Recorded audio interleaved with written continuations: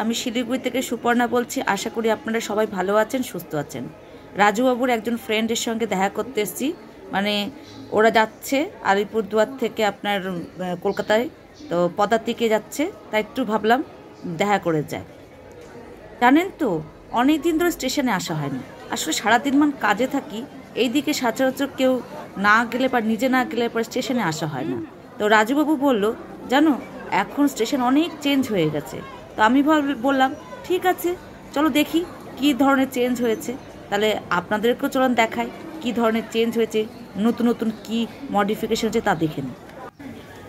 আপনাদের তো বলাই হয়নি যে এটা কিন্তু আমরা এনজিপি স্টেশনের কথা বলছি। আমি এখন দাঁড়িয়ে আছি এ ওয়ান আর ওয়ান প্ল্যাটফর্মের ঠিক মাঝখানে।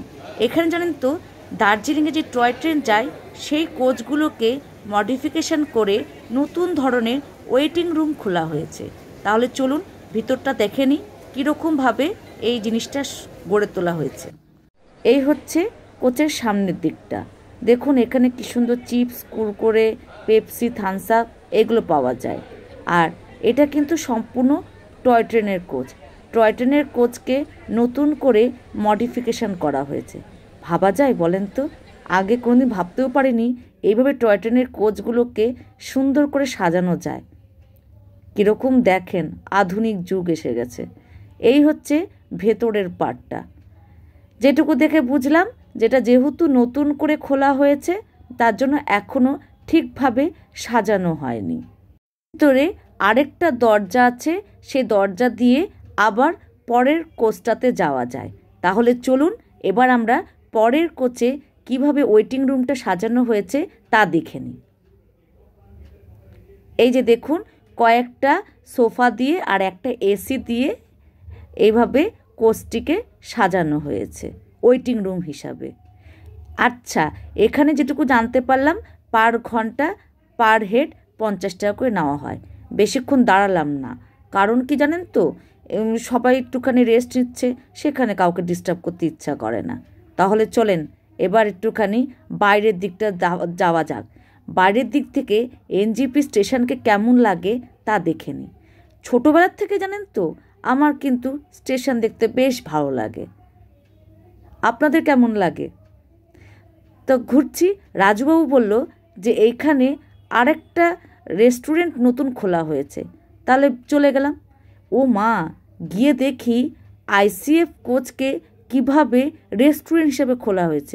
এর দিকে মানুষকে বসানোর জন্য কি সুন্দরভাবে সাজানো হয়েছে। আমার তো দেখে বেশ ভালো লাগল। আমরা সাধারণত জানি রেস্টুরেন্ট মানে হচ্ছে বড় বড় বিল্ডিং আর বড় বড় ব্যাপার।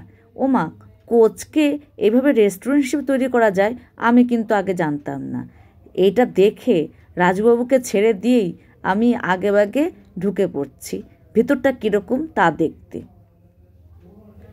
প্রথমে আমি কিন্তু আগেই বলি, আমি রেস্টুরেন্টে ঢুকলে পরেই আগে ভয় পাই খাবারের দাম কীরকম হবে। তা আমি আগেই দেখলাম যে এই রেস্টুরেন্টে সবার আগে খাবারের দামগুলো লেখা রয়েছে। আপনাদের যদি লাগে, তাহলে স্ক্রিনশট নিয়ে নেন।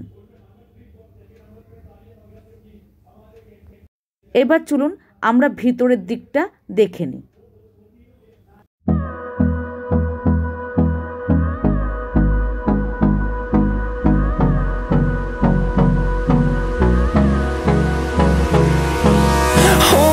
Close till I get up.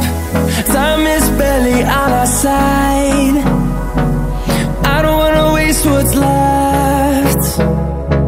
The storms we chase are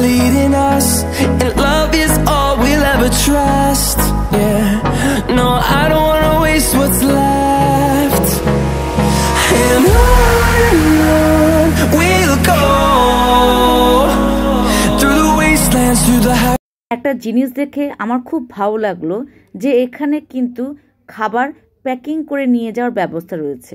আমার মেয়ে যা বাইরে খেতে ভালোবাসে, বিশেষ করে ট্রেনে বসে বসে খেতেও খুব ভালো লাগে। তা এখানে বেশ ভালোই হলো, এখান থেকে আমরা প্যাকিং করে নিয়ে যেতে পারব। এই সব জিনিসগুলোই রাজুবাবুর সঙ্গে ডিসকাস করছিলাম। তা আপনাদের কেমন লাগছে তা কিন্তু আমাকে কমেন্ট বক্সে জানাবেন। আপনারা এসে থাকেন, তাও আমাকে কমেন্ট বক্সে জানাবেন। তা রাজুবাবু বলল যে, চলো, এক কাপ কফি খাওয়া যাক। তা বললাম, চলো, খাই। কারণ আমরা তো জানিনি, আমরা একটুখানি বাইরে বেরোলেই একটু চা কফি খেতে ভালোবাসি।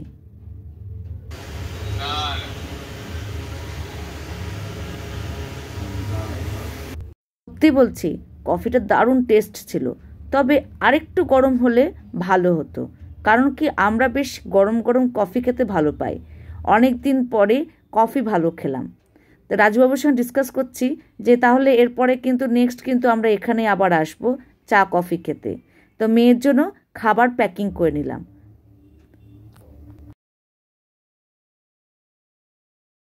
তাহলে আজকের মতো এখানে ভিডিও শেষ করছি, টাটা। বাই বাই আবার নেক্সট ভিডিও দেখা হবে।